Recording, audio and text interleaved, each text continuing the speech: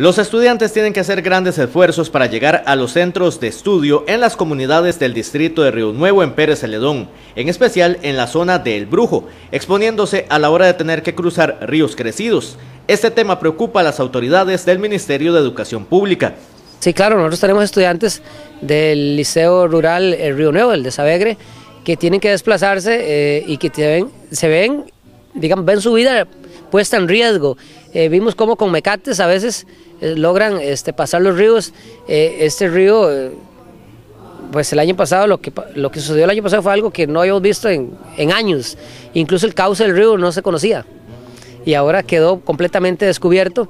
Eh, ya ustedes vieron algunos videos como estudiantes eh, tienen que cruzar las quebradas y los ríos ya con un nivel de aguas alto. Y eso a mí me alarma, me preocupa.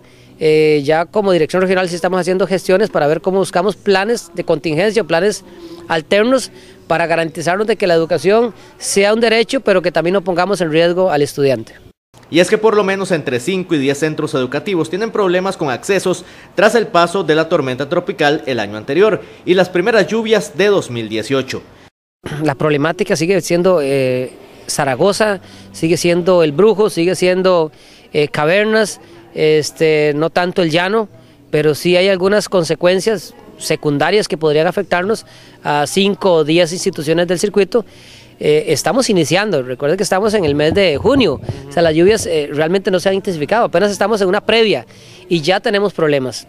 Entonces, mi preocupación es, o preocupación de nosotros como ministerio, que, vamos a, qué va a pasar en el mes de septiembre, octubre, cuando las lluvias realmente ya este, vayan a, subir su nivel de precipitación, sería algo que debe preocuparnos desde ahora. La zona del Brujo es un punto que causa mucha preocupación entre las autoridades y que se podría complicar cuando se vengan los meses más lluviosos. Hay una preocupación grande porque el acceso a Brujo eh, en estos momentos es incierto lo que se va a poder hacer ahí. Eh, prácticamente después del llano, que hay un derrumbe muy grande, eh, ya desde ahí se nos cae el sistema, como decimos nosotros, y eh, tenemos una población estudiantil que no está siendo atendida o que está siendo interrumpida. El transitar de la gente es inseguro, no tenemos opciones viables en este momento, no sabemos cómo vamos a hacer. La municipalidad está haciendo esfuerzos, haciendo esfuerzos porque incluso don Jeffrey, hay que agradecerle, envió una maquinaria hasta, hasta Cavernas, una draga, un equipo grande pero eh, pues ya el asunto es más bien el problema más acá, ni siquiera ya es cavernas. Primero no tenemos un acceso, un puente hacia cavernas, pero el camino al, bru al brujo eh, es muy complicado. Ni la Comisión de Emergencias, ni la municipalidad todavía no tenemos eh, como una respuesta clara de qué vamos a hacer, cómo se va a abordar. Las comunidades enteras tienen la incertidumbre de lo que podría pasar durante este invierno.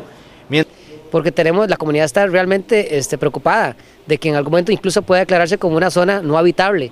Y eso sí es una preocupación para una comunidad como el Brujo, que históricamente nos ha aportado mucho.